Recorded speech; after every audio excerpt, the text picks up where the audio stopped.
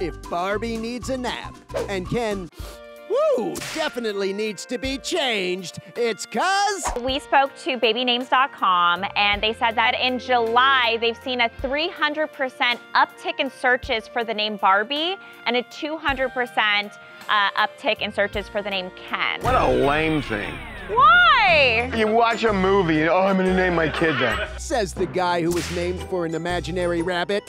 Think Ted, but like a really, really, really long time ago. But the biggest problem with the Barbie Ken baby boom is what about Greta? Barbie hit over a billion dollars. Which means Greta Gerwig is now the first solo female director to hit 10 figures. Now that's a billion dollar baby. It's a big deal. And did it in its third weekend. This is the real world. Not yet, but it's a start. And what's more, Margot Robbie's production company did this movie. This thing was sitting for years and years and years, and nobody could figure out how to do the movie, and it just sat and languished. but then Margot pitched the movie to studios and told them it could make a billion bucks. What a visionary!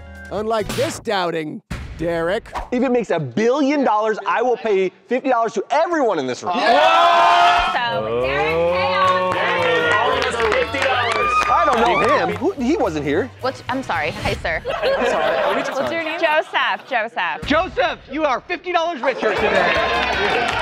Great day to start. So congrats, Greta! And when you do the sequel, we've got a great Alan.